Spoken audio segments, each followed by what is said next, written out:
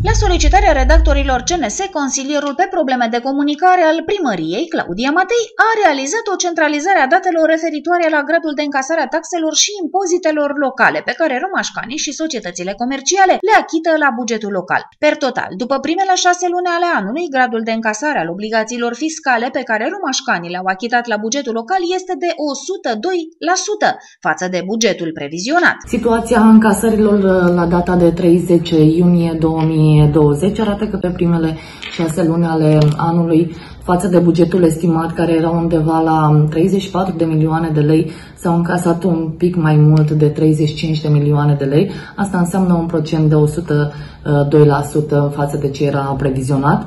La câteva dintre impozite, încasările au fost peste ceea ce era previzionat, însemnând impozitul pe clădiri, pe teren, și pe mijloacele de transport el a depășit 100% ca și procent. În schimb, pe alte taxe, cum ar fi impozitul pe spectacole, mai ales uh, prin faptul că starea de urgență nu a mai permis desfășurarea unor astfel de activități, față de ceea ce era previzionat s-a încasat cu mult mai uh, puțin.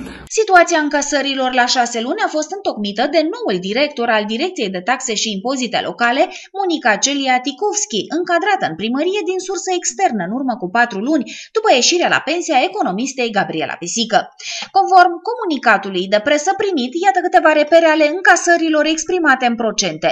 Impozit pe clădiri 142%, impozit pe teren 132%, impozit pe mijloace de transport 116%, taxe judiciare 81%, impozit pe spectacole 5%, eliberări autorizații 93%, venituri din închirieri 97%, venituri prestări servicii 50%, venituri din amenzi 67%, cote defalcate 89%. Totalul sumelor previzionate a fi încasate prin proiectul de buget al primăriei romani este de 34.601.000 lei. Primăria reușind să încaseze la 6 luni 55 de mii 335 mii lei.